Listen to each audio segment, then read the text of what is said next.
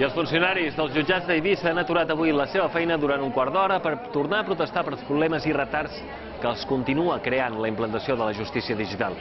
Ja fa un any que els treballadors del Ministeri denuncien que l'arxiu únic que havia de facilitar-los la feina ha esdevingut, asseguren, el seu pitjor enemic.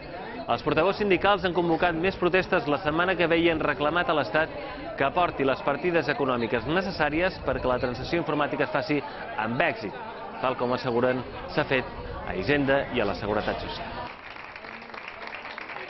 Llevamos más de un año con esta historia, el personal está quemadísimo, el personal está sometido a unas situaciones de estrés terribles y esto puede estallar en cualquier momento.